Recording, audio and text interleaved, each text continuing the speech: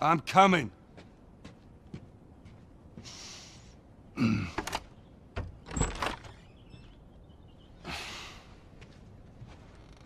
How was your morning?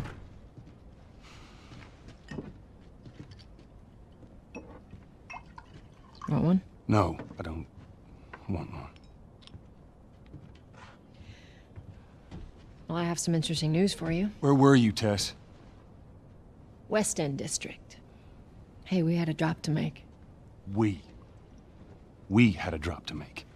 Well, you wanted to be left alone, remember? So I'll take one guess. The uh, whole deal went south and the client made off with our pills. Is that about right? Deal went off without a hitch. Enough ration cards to last us a couple of months, easy. You want to explain this? I was on my way back here and I got jumped by these two assholes, all right?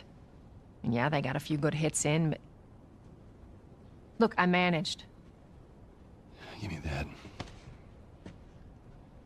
Are these assholes still with us? That's funny. Find out who they were. Yeah, look, they were a couple of nobodies. They don't matter. What matters is that Robert fucking sent them. Our Robert. He knows that we're after him. He figures he's gonna get us first. Son of a bitch, he's smart. No. He's not smart enough. I know where he's hiding. Like hell you do.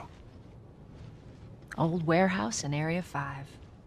Can't say for how long, though. Well, I'm ready now. Yeah? Oh, I can do now.